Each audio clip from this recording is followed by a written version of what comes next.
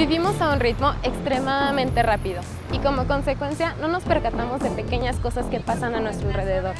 Estamos tan enfocados en nosotros mismos que hemos perdido el interés en ser empáticos.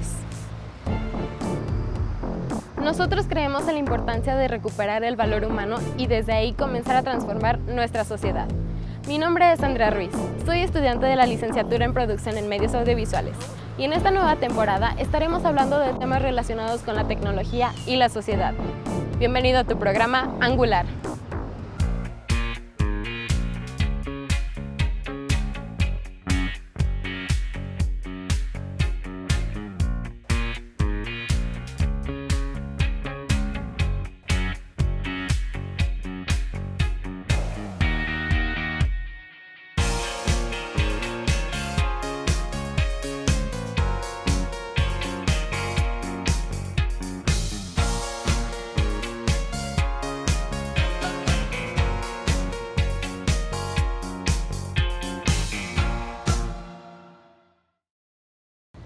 Acostumbrados a quejarnos de todo.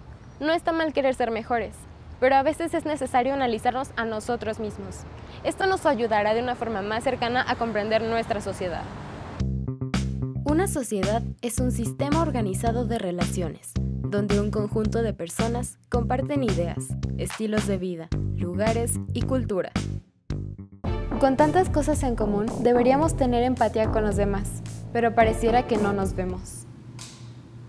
Bueno, a mí me parece que la empatía es una habilidad social que se adquiere. Nosotros la podemos entender como la capacidad que tenemos en nuestro carácter de ser humano y en nuestro carácter de una especie más de la naturaleza de ponernos en el lugar de otro. Está relacionada mucho con esta parte de la diferencia o las posturas diferentes que hay respecto al otro. Le estamos hablando de aquella necesidad de identificarse con las emociones, con los sufrimientos, con los padecimientos, con aquellas conductas que otras personas eh, están teniendo.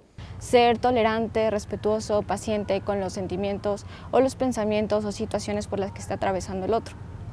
En pocas palabras, cuando hablamos de la empatía, estamos diciendo de aquella emoción que compartimos con alguien. Está relacionada con este punto de saber de qué forma ser críticos o no ser tan prejuiciosos con lo que el otro nos expresa o nos dice. Pues alguien empático es la persona que tiene la sensibilidad de comprender a los demás, de poner atención en las vivencias, en las emociones, en los problemas que está teniendo la otra persona. Eh, eh, que todos debemos sentir por los sufrimientos, por las carencias, por todo lo que padecen los demás y que desafortunadamente no lo tenemos o lo hemos perdido. Supone que yo soy capaz de entender e interpretar las emociones y las racionalidades del otro. Dar una crítica de lo que sucede a nuestro alrededor puede parecer muy fácil, pero la mayoría de las ocasiones no nos damos cuenta de nuestras acciones, ocasionando que la gente se pueda sentir ofendida. El desarrollar habilidades empáticas podría generarnos un mayor nivel de conciencia social. Bueno, los prejuicios sociales afectan a la sociedad en diversas maneras. La más grave de ella es en el desdibujamiento de los que somos diferentes. Muchas circunstancias han llevado a que la sociedad ya no sea empática en sí, porque además creen que sus problemas son prioridad respecto a todo. A partir de los prejuicios sociales nosotros alimentamos el miedo que tenemos como personas hacia lo diferente, bajo la inconsciencia de que todos nosotros somos caracterizados por la diferencia. No, no podemos referirnos a uno en particular en razón de que el tejido social se ha venido descomponiendo desde hace muchos años. Estamos viviendo una etapa de crisis de valores tremenda. Nosotros estamos invadiendo la capacidad que por naturaleza tenemos de considerar al otro como si fuera yo mismo, porque todos los enunciados discursivos de mi sociedad me dicen que es más importante mi bienestar que el del grupo al que yo pertenezco el hecho de que a lo mejor no nos importen las situaciones en las que mi vecino o quien chocó si necesita ayuda o si alguien tuvo un accidente, o sea, a veces el no acercarnos también es parte de no crear empatía entre nosotros, ¿no? Pero creo que también está muy relacionado con la desconfianza que se ha creado eh, con muchas situaciones que ya eh, tienen mucha desconfianza o, o, crean desconfianza en la sociedad. Pues una sociedad que no es empática y sobre todo en la profundidad que implica la empatía social, pues simplemente es una sociedad fragmentada, repleta de problemas sociales, vicios sociales, objetivación de la persona, la materialización sobre la importancia del individuo, es decir, es una sociedad fragmentada. Te decía que, esta parte de la desconfianza que existe, yo creo que es detonante de muchas de las situaciones eh, vulnerables a las que estamos expuestos cotidianamente, ¿no? Eh, situaciones en las que no vemos que a lo mejor si alguien necesita ayuda o me acerco, siempre lo haces temeroso o con ciertas reservas porque no sabes de qué manera va a actuar el otro. Bueno, yo no estoy segura que la gente tenga miedo de expresar empatía. Yo creo que es una habilidad humana que no hemos ejercitado y que se ha venido perdiendo con el paso del tiempo. A veces ni sabemos que somos capaces de ayudar al otro, a veces ni siquiera dimensionamos la importancia de nuestros actos en la vida de los demás. Prácticamente los problemas de, los, de uno son prioridad, ¿no? Y no tendrían por qué interesarme lo que está pasando en el otro a través de las estrategias de formación, a través de la crianza, a través de nuestras instituciones políticas, se ha generado un sentido de individualidad y no un sentido de sociedad. Tener empatía no significa pensar igual que los demás, pero sí tener la madurez de respetar las diferentes ideas que convienen en una sociedad. Escuchar, analizar y opinar debe ser parte importante en una sociedad en la que se preocupan por sus semejantes. Ser buenos ciudadanos implica reconocer acciones que puedan estar dañando a otras personas. Es así como trabajamos en equipo para tratar de entender qué pasa con el mundo y proponer cómo podemos mejorarlo. Pero ¿te has preguntado qué nos impide hacer estas acciones?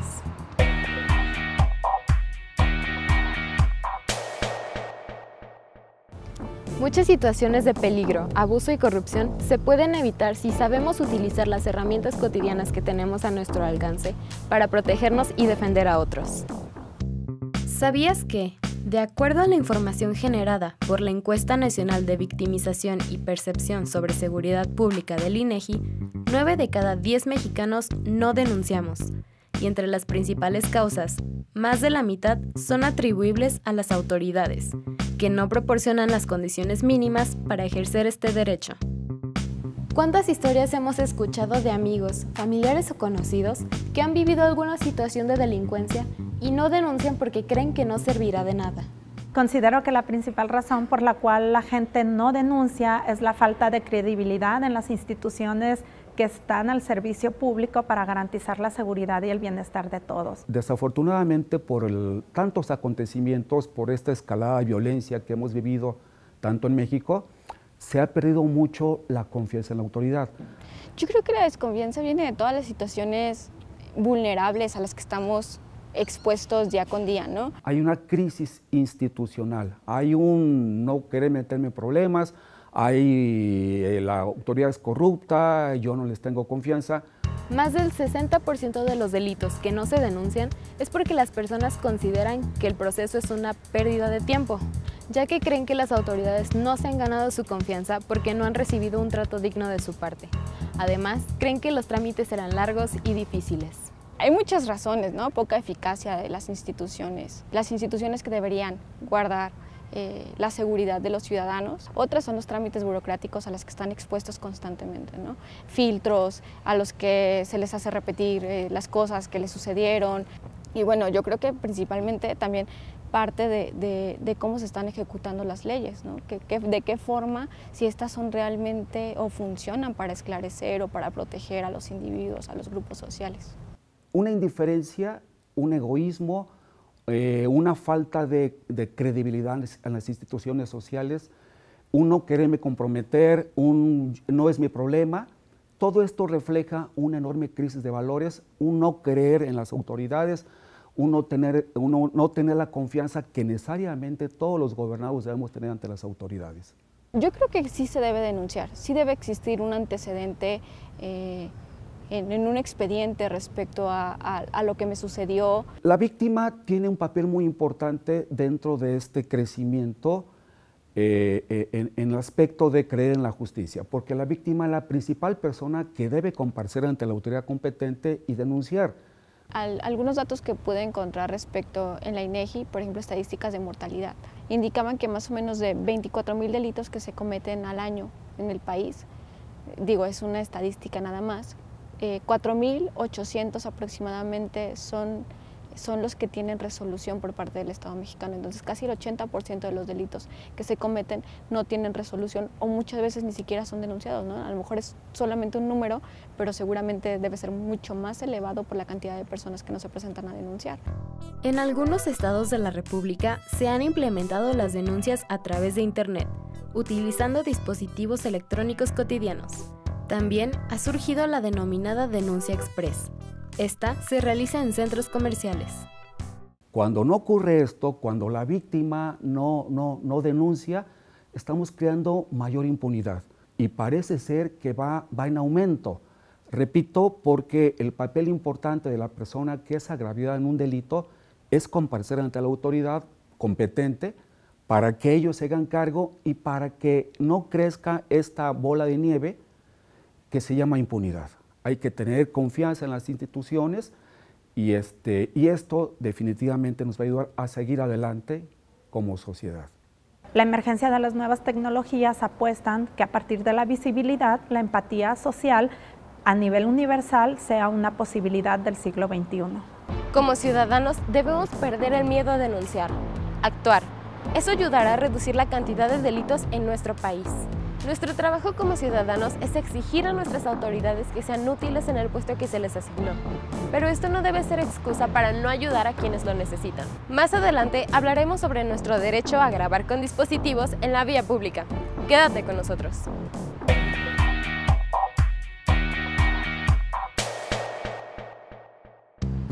Ayudar a terceros es una garantía de que nuestra sociedad está recuperando la protección, pero sobre todo la empatía social. Sin embargo, poner en peligro tu vida nunca es una opción. Existen diferentes maneras de ayudar a las demás personas cuando están en peligro ante un acto delictivo. Pero si hay armas de por medio, la mejor manera de ayudar es buscar alguna autoridad. Eh, debemos cohesionarnos como sociedad, debemos apoyarnos.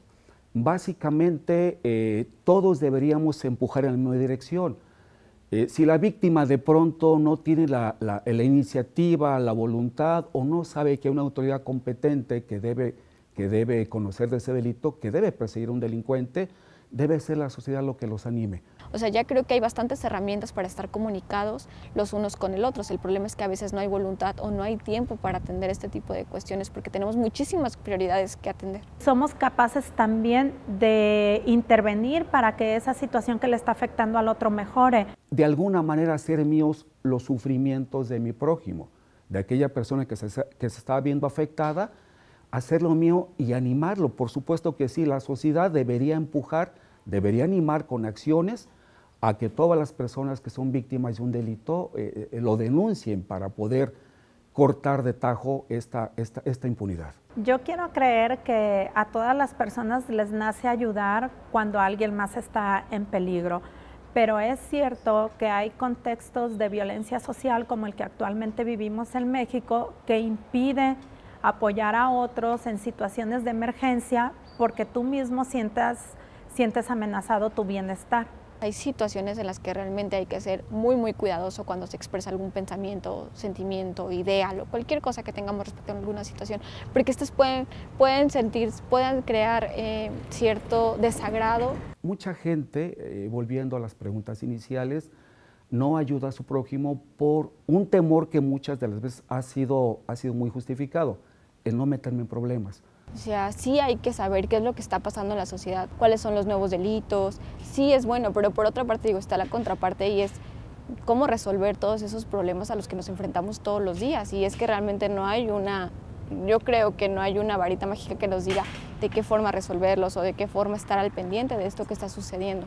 Nosotros deberíamos arropar a aquellas personas que se siendo víctimas de un delito o que ya lo fueron, animarlos para que denuncien para poder acotar esta ola de delincuencia que parece que no tiene fin? Yo creo que hay que ayudar de forma en la que no nos, no nos veamos vulnerados tampoco. O sea, sí hay que ser conscientes de que hay situaciones de riesgo a las que probablemente tú, tus amigos o gente que ni siquiera conoces va a estar expuesta y creo que sí debemos estar dispuestos a tender la mano porque de digamos, generalmente lo hacemos, ¿no? Cuando vemos un accidente nos acercamos a ver qué sucedió, si necesitan ayuda, pero hay otras situaciones en las que a veces cuando, por ejemplo, cuando alguien lo asaltan o sufre alguna, algún percance, por lo regular siempre nos tratamos de mantenernos al margen, ¿no? Una vez que auxiliamos a la víctima, eh, somos los primeros, los terceros que nos enteramos de la, de la comisión del delito, en, en sugerirle que denuncie, si es posible, inclusive prestarle los medios materiales para conducir a esa persona ante la autoridad competente para que haga la denuncia correspondiente. Yo creo que lo ideal sería eh, acudir a las instancias o llamar a las instancias que podrían resolver el problema como tal. Esa sería una forma de ayudar, no exactamente acercarnos eh, tal cual, pero sí buscar las instancias necesarias para ayudar a estas personas. Por eso existen colectivos que tienen esta empatía con personas que han sufrido alguna situación difícil. Un tercero que lleva una víctima deberá tener la confianza en la autoridad que a partir de estas nuevas reformas que ha habido, este nuevo sistema de justicia penal que estamos viviendo, prevé los mecanismos para que aquellas personas que en tercero sean protegidos. Pero cuando los problemas públicos son invisibles, es decir, nadie habla de ellos, nadie los está reportando, todos se quedan en los procesos burocráticos de denuncia, entonces nosotros no tenemos la capacidad de actuar por el otro. Bueno, ya existe una ley general de víctimas que más o menos implementa todos los estándares internacionales que, protegen a, las víctimas. Este fue impulsada por organizaciones civiles y familiares de víctimas. Ahora bien, se trata de una persona que tenido, ha, sido víctima o ha sido lesionada, pues prestar en la medida que podamos los primeros auxilios, porque también es importante resaltar que existe un delito para aquellas personas eh, eh, que no auxilien a una persona que se encuentra en estas condiciones también. Estamos hablando de una figura jurídica que se llama abandono de víctima. Yo considero que la condición natural de cualquier persona, el instinto natural de cualquier persona, promueve que ayudes a los otros. Es importante saber que tenemos derechos, pero también ciertos límites. Es bueno ayudar siempre y cuando no arriesguemos nuestra integridad. Son, son bastante eh, abstractos los límites de la libertad de expresión porque hay situaciones en las que realmente sería muy difícil emitir una opinión, sobre todo si no estás al tanto totalmente del hecho, de la situación a la que te quieres expresar. En la medida en que los medios de comunicación sigan naturalizando la violencia, el crimen y el odio como un evento natural de la raza humana, en esa medida va a ser muy difícil que las nuevas tecnologías superen esa condición negativa para posicionar al mundo como una, una realidad empática universal. Sí está la capacidad en el ser humano, sí tenemos los recursos para lograrlo, pero las narraciones que estamos emitiendo a través de estas plataformas son las que debemos de cuidar. Para disminuir los peligros que enfrentamos como sociedad, debemos hacer un cambio significativo en nuestra forma de actuar, en donde las demás personas nos importen y no permitamos abusos. Ahora hay una esperanza en las nuevas tecnologías de comunicación que apuestan a una empatía universal, porque entonces yo me estoy enterando de las condiciones de otros que están más allá de los, de los límites territoriales de los grupos a los, que yo, a los que yo pertenezco. Pues es que creo que la empatía es una habilidad social que tenemos que ir cultivando todos, ¿no? Si nosotros no ayudamos a los otros, si nosotros no sentimos que el otro forma parte de mi núcleo social y del ecosistema, del ecosistema social al que yo pertenezco, pues entonces, ¿qué tipo de ciudadano estoy siendo? ¿En qué le contribuyo a la sociedad? Ponernos en los zapatos de los demás es un ejercicio que puede ser muy útil para mejorar las condiciones de nuestra sociedad. Imagínate en una situación de peligro. Seguramente lo que querrías en ese momento sería ayuda de las personas que se encuentran a tu alrededor. El poder ayudarnos los unos a los otros puede hacer una gran diferencia en nuestra sociedad. No debemos dejar que el miedo o indiferencia se apodere de nosotros y nos impida hacer el bien.